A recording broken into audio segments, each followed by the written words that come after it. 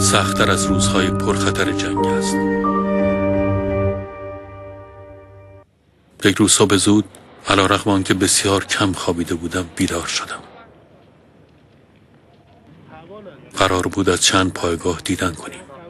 نمی‌دانم چرا احساس خوشایندی داشتم. که در منطقه دارید چه برنامه دیگه دارید؟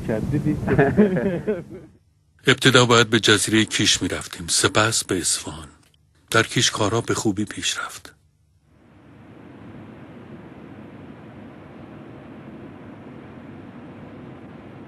بعد از صرف نهار هواپیما آماده بود که ما را به اصفهان برساند.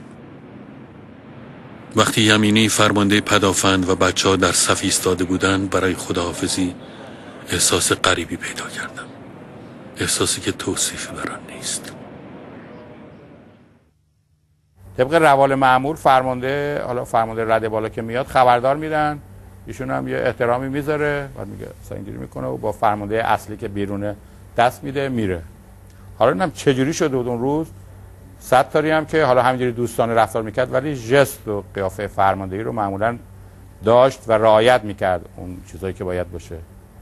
تو هر جا که می‌رفت همون خیلی رسمی اینجوری می‌کردم می‌رفت ولی در اون لحظه نمی‌دونم چی شده بود که که ما اینجوری سه ردیف فرماندار رو وایسونده بودیم. منم خودم بیرون بودم که چیز کردیم. با فرمانده پ... تیمسار یمینی اومدن اونجا که خداحافظی کنن. ایشون شروع کرد دونه دونه با همه دست دادن. اصلا ما تعجب کرد دیدیم اومد ردیف اول دست داد رفت ردیف دوم دست داد رفت ردیف سوم دست داد با تک تک فرمانده ها دست داد. من شب اومدن تقریبا نصف شب در خونه زنگ زدن اومدم تو پری تلفن دیدم تیمسار خود برافروخته است داره صحبت می‌کنه. بعد دیدم یه خود صورتشون قرمز شد. تیمسار یمینی هم بسیار یعنی انسان والا منتها خیلی متین خیلی دیر عصبانی می‌شد. یا دیر ولی دیدم نه اصلا چون برافروش ای گفتم من که داشتن صحبت می‌کردن گفتم چه خبر؟ بعد که تموم شد گفتم چی شد؟ گفت هواپیما تیمسار خورده زمین.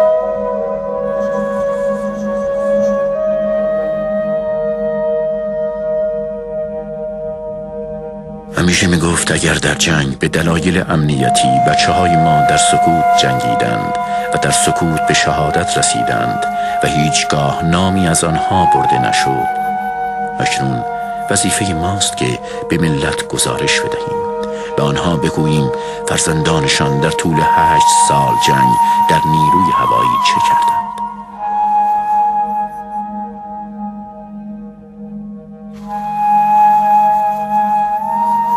افسوس که تقدیر این فرصت را از نیروی هوایی گرفت.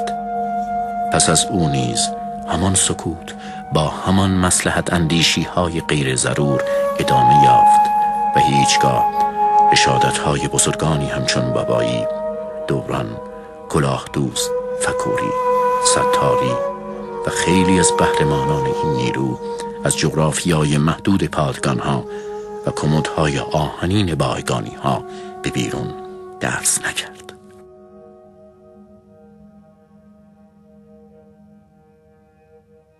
با من آخرین سوال.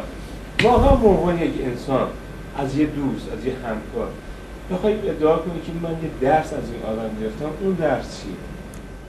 من همین خوشبین بودن میگم همیشه بعد از شهید ستاری واقعا این سرمشقم بوده و تلاش می‌کنم که این حالت در خودم به وجود بیارم. و خیلی مسئله مهمیه. هم کار پیش میره هم آدم لذت می‌بره از خودش از زندگیش از همه چی.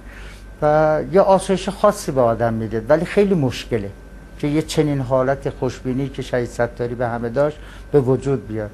من, من واقعا بزرگترین درسم از ایشون همین بود که نباید آدم بدبین باشه.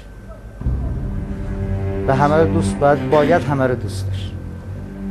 خیلی ممنون. سلامت